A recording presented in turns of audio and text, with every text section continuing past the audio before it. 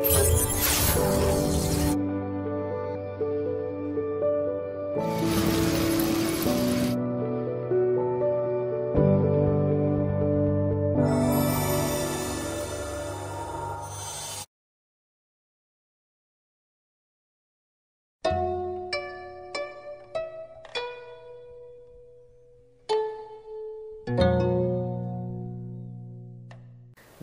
오늘은 216쪽 술지를 한번 읽어보죠. 석제상고의 세질민순이라 십이막별의 이해불분이람 풍기기계의 내생성이니람 중명예지는 출류 초군이람 안관부찰하니 시회기우람 교지복서하야 이단가부람 자기 군사의 개차고유람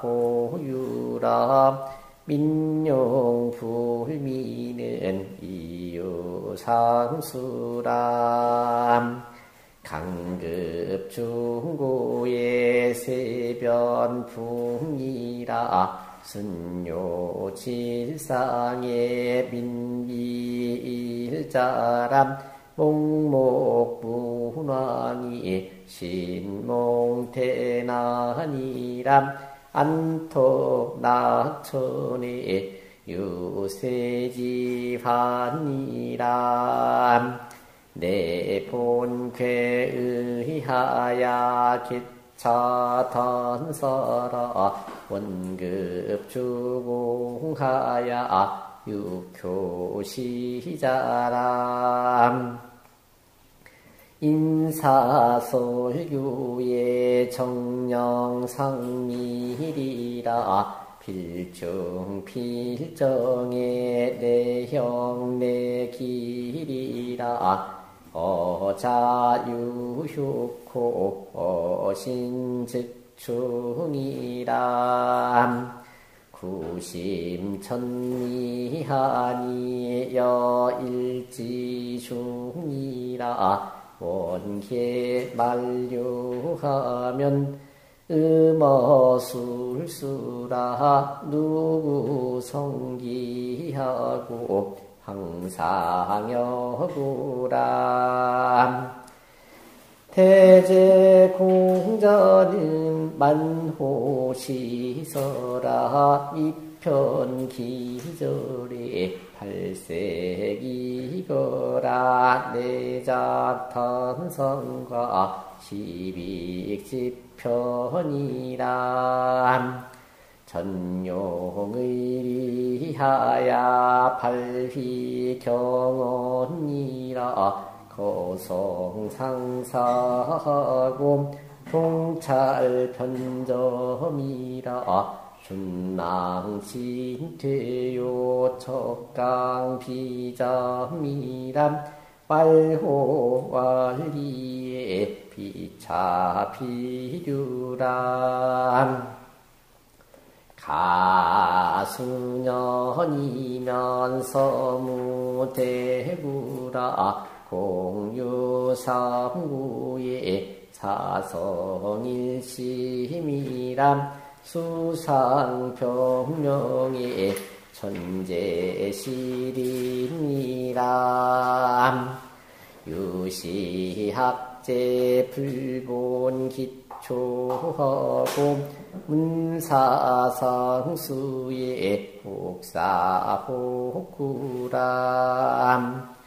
차여수자의 기밑 차루라 찬항물신의 즉해구와 비경자방이요 비지자루라. 유용존의하니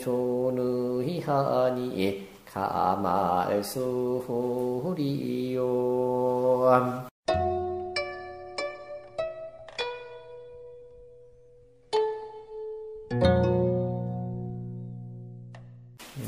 기술지라는 거는 지는 이게 뜻이거든요. 뜻을 기술함. 주역에서 뜻을 취한다고 했는데 어떤 뜻을 봐야 되냐 그 얘기예요. 석재 상고의 세질 민순이라. 옛날 상고시대 때에는 세질 민순 세상은 질박하고 백성들은 민심은 순응했었다. 시비 막별에 그때는 옳고 그름을 아무도 구별하지 않음에 이해 불분이라. 이로움과 해로움도 나뉘어지지 않았었다. 풍기 기계의 풍, 풍기가 이미 열림에 풍기가 이미 열림에 내생 성이라. 곧 성인을 세상에 내주셨다. 그 성인은 어떤 분인가 하면 총명예지 출료초군이라. 귀 밝을 총, 눈 밝을 명자예요. 총기도 좋고 눈도 밝고 또 머리도 좋고 지혜도 뛰어나서 출료초군이라. 무리들보다 월등하게 우뚝 위로 솟아있는 그런 훌륭한 분들이었다. 그분들이 하신 일이 뭐냐면 이제 주역을 만들었다. 그 얘기예요. 안관 부차라니 우러러 별자리를 살펴보고 숙여서 저런 사물들을 관찰하니 시획기우라. 그제서야 비로소 기와 우를 긋게 되었다.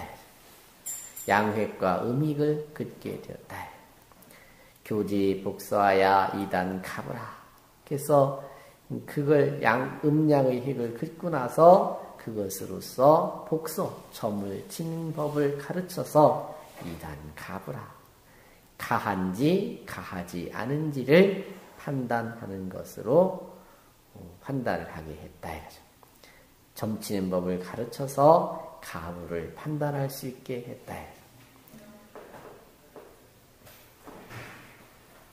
자기 군사의 개차 포유라. 그래서 자기 군사 임금도 삼고 스승도 삼음에 이게 이제 성인으로서 군주가 되기도 하고 성인으로서 군왕을 군왕의 스승이 되기도 한 그런 분들을 말하는 거죠. 개차 호유라. 그 열 개자, 둘을 찾자, 호유. 집을 짓고 옛날에 토굴 속에서 살기도 하다가 그죠? 그럴 때 거기에 이제 창문을 만들게 되었다. 사실은 미개한 사람들의 그 답답한 마음을 조금씩 열어주기 시작했다 이렇게 보여져요. 민용 불미는 백성들이 있어 혼미하지 않은 것은 이유 상수라. 항상 지키는 바가 있었기 때문이더라. 그러다가 세월은 흘러서 강급 중고의 이 강자는 시, 기적으로 내려온다는 뜻이죠. 중고의 시대. 아까는 상고라고 했잖아요. 석재 상고에 이렇게 됐죠. 상고에서부터 이제 강급 중고에 시간은 흘러 흘러 내려와서 중고에 이르름에 세변풍이라 세상은 변하고 풍속은 옮겨졌다. 어떻게 옮겨졌냐면 순요 질상에 순박했던 그런 풍조는 흐려지고 질박했던 그 잡, 어, 바탕은 다 질박했던 것을 잃게 되매 민위일자라 백성들은 나날이 거짓으로 거짓됨으로 거짓된 행동과 말이, 말이 불어나게 되었다. 그때 누가 나타났냐면 이제 문왕이 나타난 거죠. 목목 문왕이 목목하신 문왕께서 신몽대난이라 몸소 크나큰 곤란을 입으셨다. 유리옥에 갇히는 그런 재난을 당했으니까 안토 낙천에 그때에도 그 자기 처한 위치에 편안하고 낙천이라는 것은 낙천지명이라 했잖아요. 음, 하늘을 즐기며 유세지환이라. 옥에 갇힌 게 문제가 아니라 세상 전체와 함께 공유하려는 마음으로 세상을 걱정하는 거지요. 그러다 보니까 오직 세상의 근심만을 생각하게 되었다. 내분 쾌의하야 곧 쾌의 쾌의의 근본을 두고서 개차 단사라 거기에 이어서 단 단사를 붙였다. 단 단사는 모든 쾌의 판단이죠. 가부를 판단하는 말이에요. 단사를 붙였다. 그러다가 원급 주공하야 주나라 때죠. 이에 주, 주공에 이르러서 육효 시자라. 이제 효사를 붙였다는 거예요. 주공이 육효와 이에 자례가 되었다.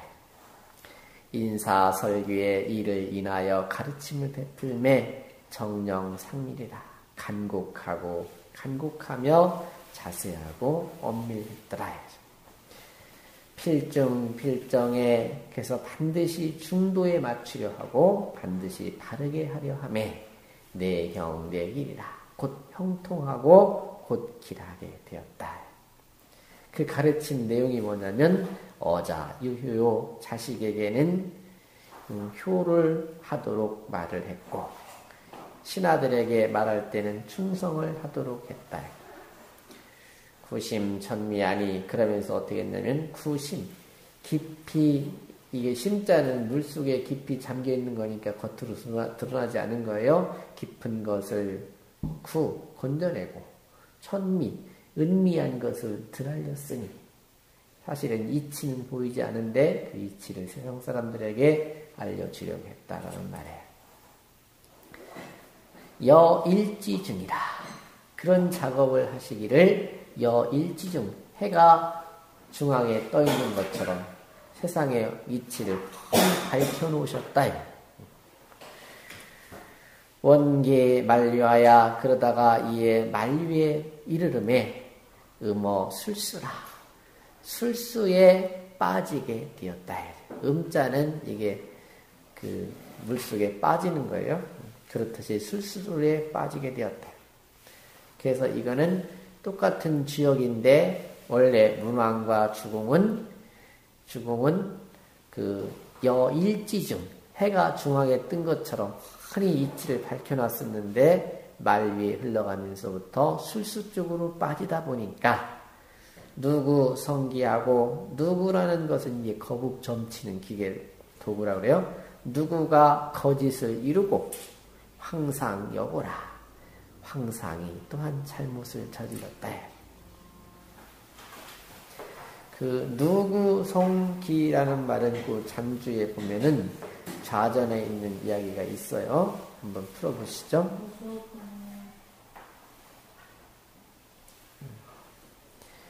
좌전 소공 25년에 좌전 소공 25년에 장소백이 장, 장소백이라는 사람이 여진하니 이럴 때 여자는 갈여자예요. 진나라의 간이 장회 절기보 어, 절기보 구 누구하야 이복하야 위신여참 이러니 참길이라.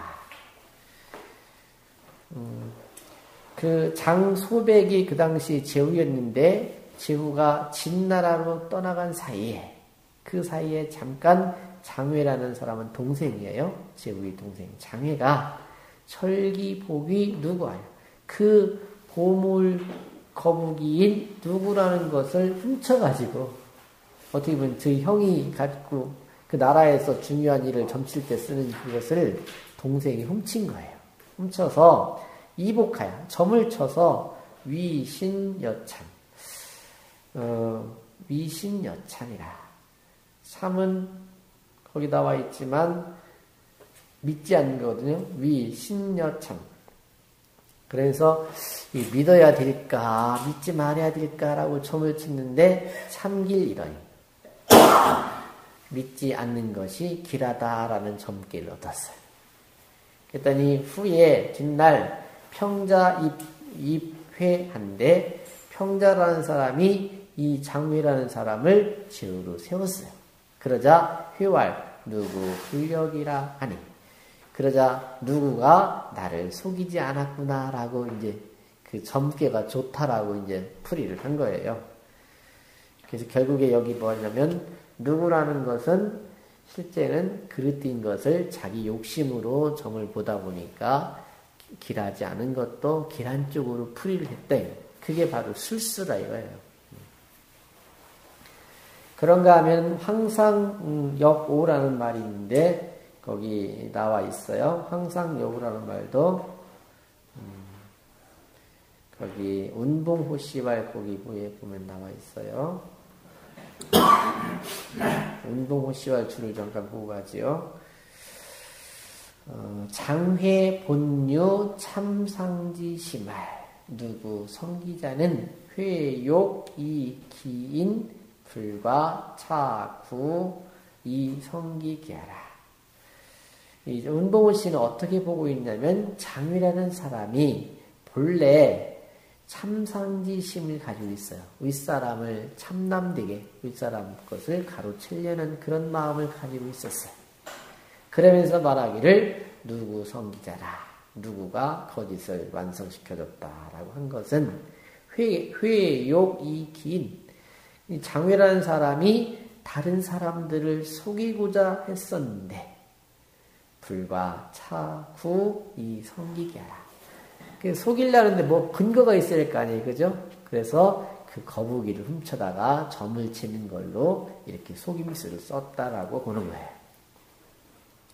근데 그 밑에 보면 남괴라는 사람 이름이에요. 남괴가 유 반지하여 득 항상지 점하야 이위 대길이라. 남괴라는 사람이 점을 쳤는데 곤괴 항상 원길이라는 그, 그 괴를 얻은 거예요. 근데 본래 배반할 뜻을 가지고 있었어요. 근데 원래 황상이라는 것은 천자가 있는 건데 이 사람이 천자가 아닌데 지금 그런단 말이죠. 이위 대길. 그러고서 자기가 생각하기는 황상 원길이니까 아주 크게 길하다라고 생각해서 아주 이건 굿했다가 틀림없이 성공할 거라고 이제 착각을 한 거예요. 그리고서 수, 부지, 기, 거사, 정, 반호, 황, 황지, 중, 그 다음에 상지, 하, 기, 대패하라. 근데 이 길하다고 나온 점괘만을 알았지 그 거사가 자기 배반하려고 하는 그 일이 정희, 황색, 황이 중앙인데 황의 중앙에 반대되는 짓과 상이, 상은 원래 아래 황상인 게 황은, 황상은 이제 상이 아래거든요. 치마, 바지거든요. 음. 음, 그, 어떻게 된? 어, 상지 하기 대패해라. 어? 다시 해야 되겠네. 어, 위대하시기도 하도다. 공자님께서는 만호 시사라. 늦지막이, 인생 늦지막이 이 글을 좋아하셨다. 얼마큼 좋아했냐면, 2편 기절에, 2편 3절이라고 했잖아요. 가죽으로 묶은 끈이 이미 세 번씩이나 끊어짐에, 그제서야 다 갖추게 되셨는데, 팔색 이거라. 팔색은 어떻게 보면 팔괴, 팔괴가 다 갖춰지게 되었다. 내잣 단상과 십익지 편이라. 그리고 나서 그런 것들을 다 갖추, 어떻게 보면 지역의 모든 채통이 다 갖추어졌는데, 그때 단, 단전, 상전, 그 다음에 십익 이런 것들이 다 지어지게 되었다. 근데 공자님은 무슨 일을 하셨냐면, 전용의리하야. 오로지 의리에 써서, 의리만을 써서 발휘 경언이라. 그 지역 역경의 말을 발휘했다 이거지. 역경의 뜻을 취하려고 했다. 거성 상사하고 그래서 거는 평소에 평소에는 상사를 살피고 통찰 변점이라 움직이려고 할 때, 즉 행동으로 옮길 때는 변화되는 점을 관찰하셨다. 그래서 존망 진퇴와 척강 피장이라. 존과 망과 나서고 물러넘, 물러남과 척 오르고 내리고 날고 참기는 것들이 그 여기 말하는 어, 상 그러니까 거성 상사하고 동찰 전변 변점에서 공부하신 내용들인 거지요. 거기서 본 점들이지요. 존망, 신퇴, 척강, 비자니라. 그래서 어떻게 했냐면 왈호 왈위에 우리 홀이라는 말 있잖아요. 털끝만큼도 비차 비류라 차류가 없었다. 잘못이 없고 어긋남이 없었다. 그러시면서도 노노에 보면 뭐라고 써있냐면 가수년이면 나에게 몇 해만이라도 더 살 수 있게 시간을 부여해 준다면 서무대구라. 거의 크나큰 잘못이 없을 것이다. 라고 겸사를 붙이셨다. 공유 삼고의 사성일심이라 공손히 예, 생각해보니 하은주지요. 그 삼고, 삼고의 시대를 생각해보니 사성일심이다. 복희씨, 그죠? 복희, 문왕, 주공, 그 다음에 공자. 네 분, 네 성인이 일심이다. 이거죠. 마음이 한결같았다. 해야죠. 수상 병명의 상을 드리우, 드리워 병명, 밝고 밝게 드러남에 천재 시림이라. 천년 동안 시림, 이것이 이어져 내려왔다.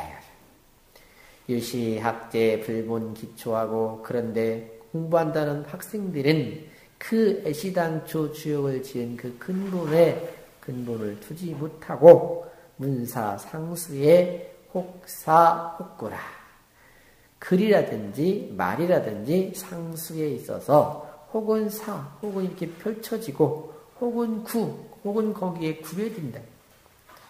차여 소자 그러니 나 소자는 나는 기 미차느라 이미 내가 미미하고 누추한 사람이다. 근데 겸사를 붙인 거예요.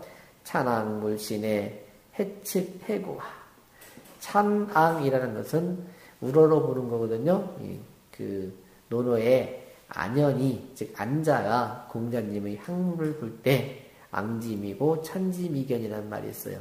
바라보면 볼수록 더욱더 선생님은 높이 계시고 뚫을 듯 뚫릴 듯 해서 가보면 더욱더 견고하고 다가설 듯 앞에 있는가 싶으면 뒤에 계시고 뒤에 있는가 싶으면 더 멀리 계시다는 그런 말이 있어요. 즉 거기 경지에 따라갈 수 없다는 말을 이렇게 표현하고 있어요. 찬왕 물신에 죽을 때까지 우러러보고 노력을 하매 해측해봐. 무엇을 예측하고 무엇을 연구할 수 있겠는가? 이 말은 내가 하면 얼마나 하겠는가? 그런 겸사예요. 비경 자왕이요 경계를 하지 않으면 이 거칠어지고 더욱더 거칠어지고 비지 기록할지라고 합니다. 비지 자루라 기록해 놓지 않으면 점차로 다 빠져나가 버린다. 유용 촌의 아니 그러니 오직 촌의 의심만을 보존한다고 할 수 있으니 가말 수호리요 어찌 감히 후대까지 이 얘기를 드리워줄 수 있단 말인가. 결국에 이 말은 끝에 있는 말은 공자님 다음으로 어떻게 보면 내가 부족하진 부족하긴 하지만 그래도 내 뜻을 가지고 이어나가다 보면 좀 공부에 좀 가닥을 잡지 않겠는가라는 그런 자부심도 좀 들어 있어요.